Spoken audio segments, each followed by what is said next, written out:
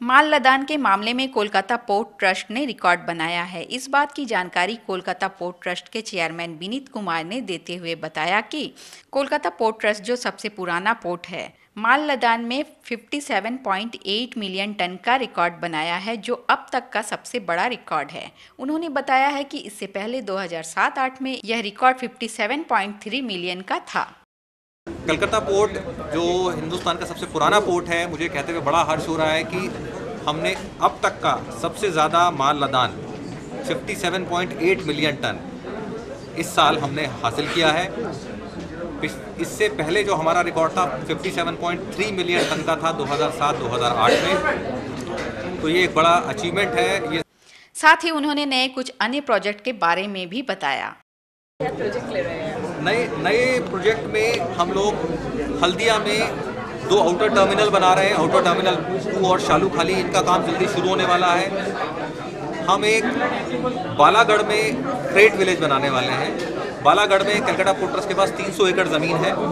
उस ज़मीन पे हम जेटी बनाएँगे और इनलैंड वाटरवे के थ्रू वहाँ पे एक हम फ्रेट विलेज बनाएँगे, जिसके अंदर हम 300 एकड़ ज़मीन जो है, वो अलग अलग इंडस्ट्रीज़ को हम बुलाएँगे और उनको अलॉट करेंगे, जिससे वहाँ पे कार्गो जनरेट होगा और नदी के रास्ते वहाँ से कार्गो कैलकाटा पोर्ट आएगा, जाएगा और ऊपर नेशनल वाटर वन में वन के थ्रू अलाहाबाद तक जाएगा। रेलवे नेटवर्क को हम एक्सपैंड कर रहे हैं। शेड पोर्ट के अंदर कार्गो रखने के लिए जो हार्ड स्टैंड जगह चाहिए होती है, वो करीब करीब एक लाख स्क्वायर मीटर कैलकाटा में हल्दिया में ऐड कर रहे हैं और तीस हज़ार स्क्वायर मीटर कैलकाटा में ऐड कर रहे हैं।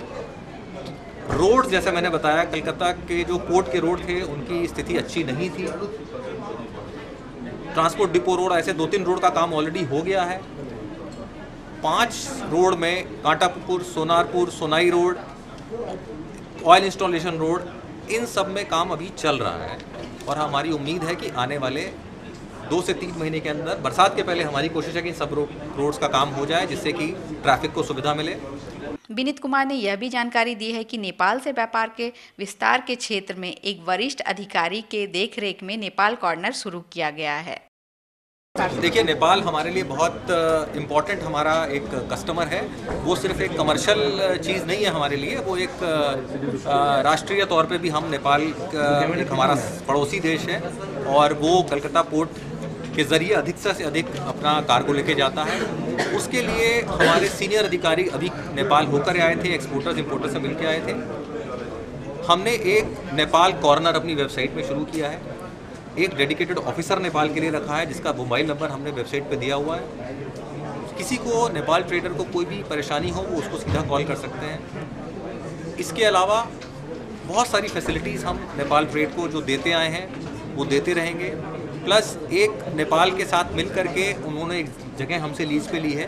उस पर हम एक इंडो नेपाल सीएफएस शुरू करना, करने जा रहे हैं। उसकी हम मॉडलिटी वर्कआउट कर रहे हैं। हमारी कोशिश है कि आने वाले डेढ़ से दो महीने में वो फैसिलिटी भी नेपाल ट्रेड के लिए शुरू कर देंगे